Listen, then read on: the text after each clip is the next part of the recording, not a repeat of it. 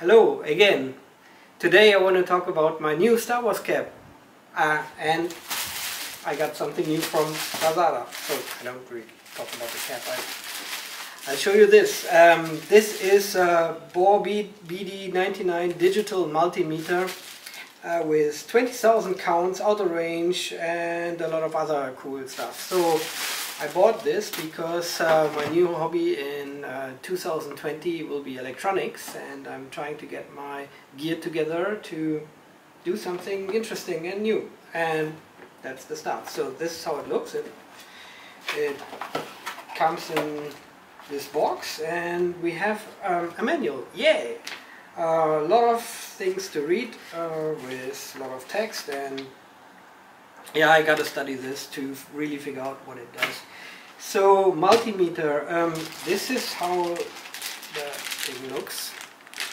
And let me take this It comes well protected in one piece. There's no damage or anything, so I think it looks good.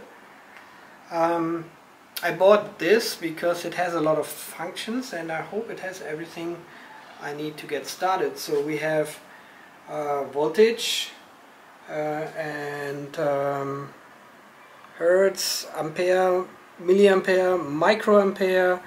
Uh, I think this is non-contact voltage. Then there is uh, temperature, resistance, and I think it can also do diode testing and lots of other stuff.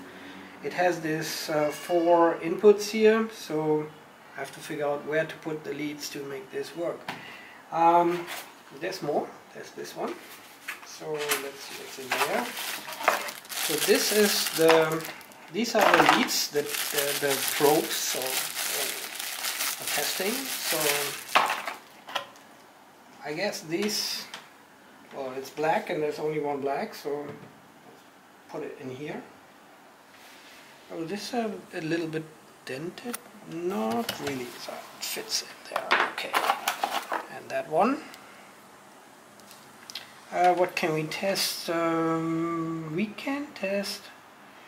We can test voltage. Let's see if that even turns on the battery. So this is a, this is stand. Yes, yeah, looks good. And um, I have no idea how to turn it on. At the moment, it does nothing. So I guess I need to get a battery first. So I will read this and then come back to you and we continue the video once I learn a little bit more about this new multimeter.